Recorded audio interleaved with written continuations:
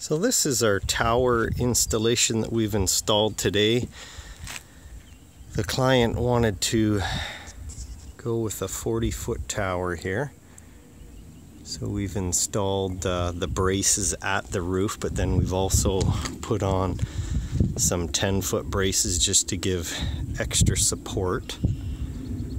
We've installed our HD TV antenna on there for antenna reception.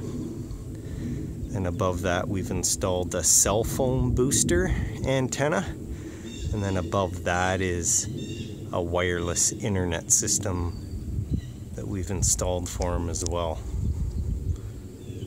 So that's our tower.